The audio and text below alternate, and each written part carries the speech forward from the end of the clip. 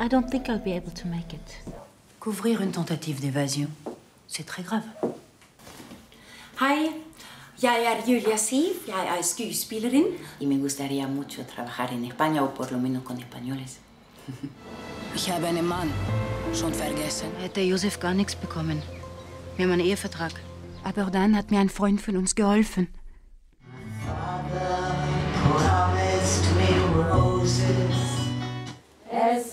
Marschiert mit Ruhe.